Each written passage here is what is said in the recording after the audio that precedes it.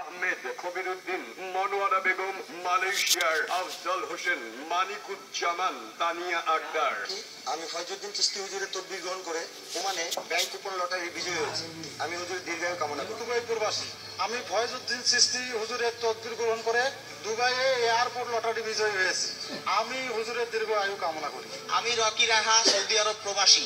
আমি ফয়জউদ্দিন সিস্তি হুজুরের তদবির গ্রহণ করে সৌদি আরবে থাইল্যান্ডি লটারি বিজয়ী হয়েছি। আমি হুজুরের দীর্ঘায়ু কামনা করি। আমি শাহ মোহাম্মদ উদ্দিন যাবত ট্রেডলিং গ্রুপে কর্মরত আছি কিন্তু আমার কোনো প্রমোশন বা উন্নতি হয়নি। হজরত মৌলানা ফয়জুদ্দিন চিস্তি হুজুরের গ্রহণ করার এক মাসের মধ্যে আমার প্রমোশন হয়। বর্তমানে আমি এই কোম্পানির জিএফ হিসাবে কর্মরত আছি আমি হুজুরের দীর্ঘায়ু কামনা করি। মৌলানা ফয়েজউদ্দিন চিশতি তিনি কাজের আগে কোনো টাকা পয়সা বা হাদিয়া গ্রহণ করেন না।